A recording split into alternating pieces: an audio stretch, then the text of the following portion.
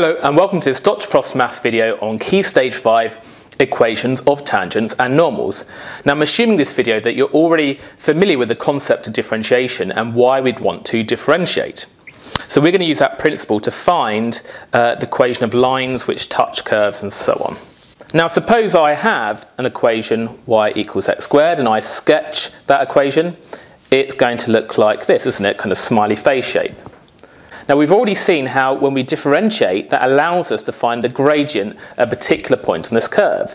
So if I was to differentiate this, we know that we times by the power, so the 2 goes on the front, and then we reduce that power by 1, so it becomes x to the 1, or just 2x there.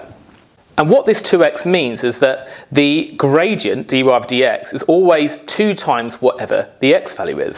So we'd know, for example, if the x value here was, say, I know 3, then the gradient would be 2 times 3, it would be 6. And if we took the gradient here, it would be steeper. If we took the gradient here, it would be 0, etc. Now what we might want to do is to find the equation of a tangent to a curve. Now remember that a tangent is just a straight line that touches a curve. You've seen tangents in the context of circle theorems. A tangent is just a line that touches the circle. Here it's just a straight line that touches the curve. And let's say we want to find the equation of this tangent. Now if I was to tell you that the x value here is equal to 4, and I now want to find the equation of this tangent here, what would we do?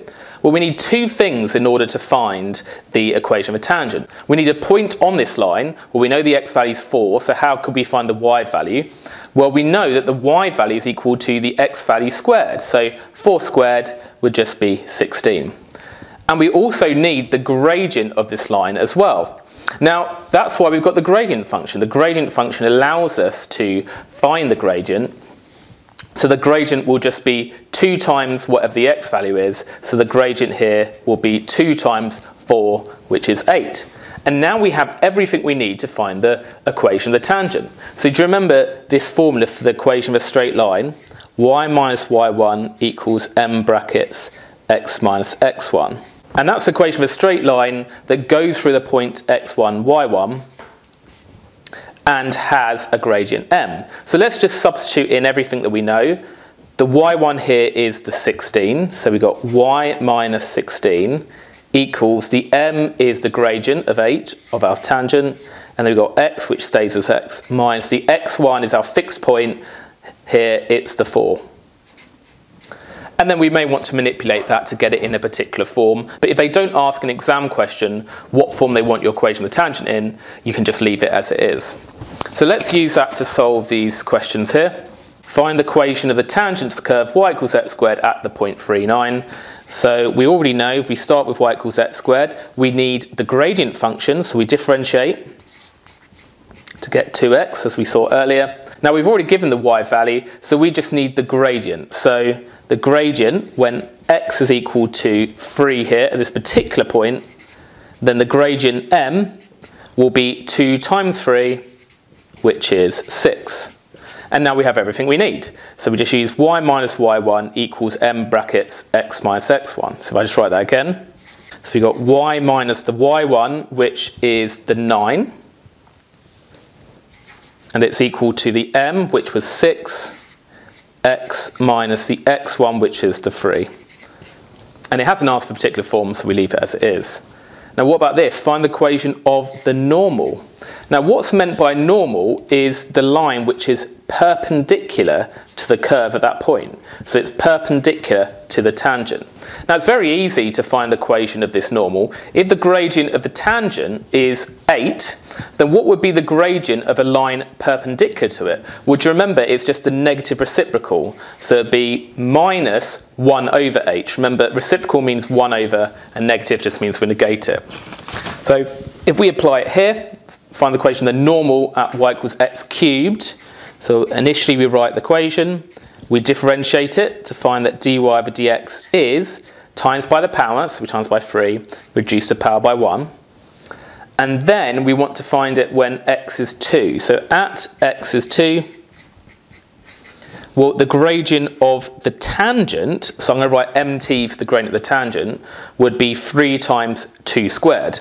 So 3 times that 2 squared. That's 3 times 4, which is 12. And that means the gradient of the normal, remember that's perpendicular to the tangent, would be the negative reciprocal of that minus 1 over 12.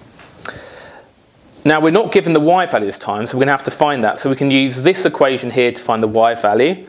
Well, y will just be that 2 cubed, which is 8. And now we have everything we need. So we do y minus y1 is equal to the m, so minus a 12, and then x minus x1, which is the 2. And let's suppose that we want it in the form y equals mx per c. Well, we can just expand this bracket out. So we've got minus 12 times x, minus 12x, and minus 12 times minus 2, which is positive a sixth. And then we just add 8 to both sides. So that's minus a 12x plus 8 and a sixth, which is 49 over 6. We've got a slightly harder one now. Find the equation of the normal to the curve y equals 2x minus 8 root x plus 5 at the point whose x coordinate is a quarter. Now it's just harder because it's a slightly harder expression to differentiate. So if we write y equals 2x minus, well 8 root x is 8x to the half. Remember x to the half means root x uh, plus 5. So as we'd always do if we're finding the, the tangent or the normal, we differentiate. So dy over dx is the 2x just becomes 2. We do 8 times a half, which is 4x to the minus half, because we did half minus 1. And remember, constants just disappear when you differentiate them.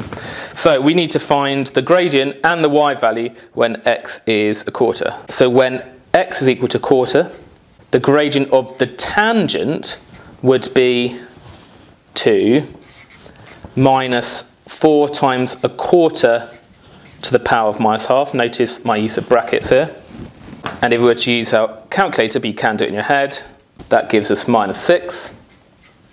So that means the gradient of the normal, because look, we're finding the normal, not the tangent, is going to be the negative reciprocal of that. So if we negate it, it becomes positive a 6, and then we do 1 over that, so it's a sixth. And we also need to find the y value. So the y value will be 2 times a quarter, Remember, we're subbing in the quarter into the original equation to get y minus 8x to the half, that's a quarter to the half, plus 5. And again, if you put that into your calculator, that gives you 3 over 2. So then we just plug into y minus y1 formula. So we get y minus y1 is equal to the m, the gradient, sixth, x minus x1 and the x was a quarter at this particular point.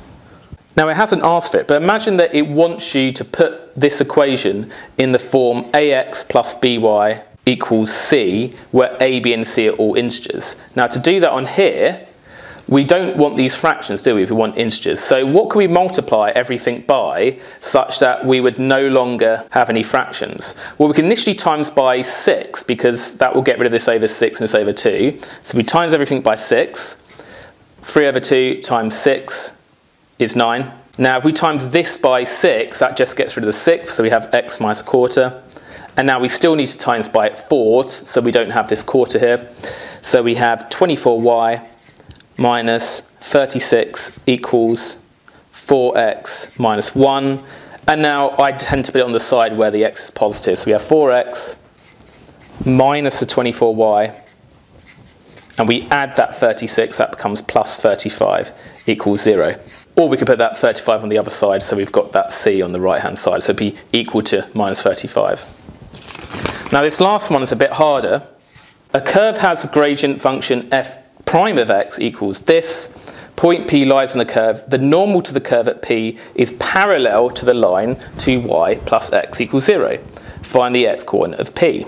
So if I was to just draw this to kind of show you roughly what's going on, what it's saying is there's a particular point P that if we were to find the normal to the curve at that point, that would have the same gradient as this other line 2y plus x equals 0, which looks a bit like this. So that's 2y plus x equals 0. We don't care where it intercepts this curve here.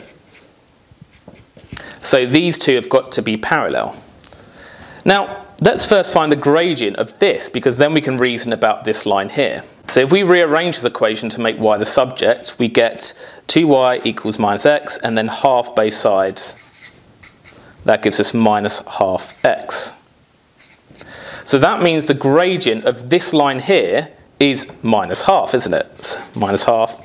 Now, if this line here, the normal to the curve at P, is parallel to this, it must have the same gradient. So that also has a gradient of minus half. Now it tells you the gradient function here. Now the gradient function allows us to find the gradient of the tangent, but we've got the gradient of the normal. So if we found the tangent at this point, then we do the negative reciprocal of that minus half. Negative reciprocal minus half is 2. Now we basically want a point on our curve where the gradient of the tangent is 2. So this gradient function here, rather than sub the 2 in, because that would find the gradient when x is 2, we actually want to find what x value would give us a gradient of 2. So basically, we need to set that gradient function, so 3 root x over 2 minus 9 over 4 root x plus 2. We want that gradient function, that gradient, to be equal to 2. Now we just need to solve that equation and then we're done because we just need to find the x value. Now we can first subtract 2 from both sides. So we get 3 root x over 2 minus 9 over 4 root x equals 0. I don't like fractions, so I'm going to times both sides of the equation by 4 root x. Now if I times this fraction by 4 root x, that's going to just affect the top. So 4 root x times 3 root x will be 12 root x root x, which is just x. We still got that over 2. And if we times this by 4 root x, we just get minus 9 because it cancels that bottom. Now this nicely simplifies. 12x over 2 is 6x minus 9 equals 0. And then 6x is equal to 9. And therefore x is 9 over 6, which is 1.5.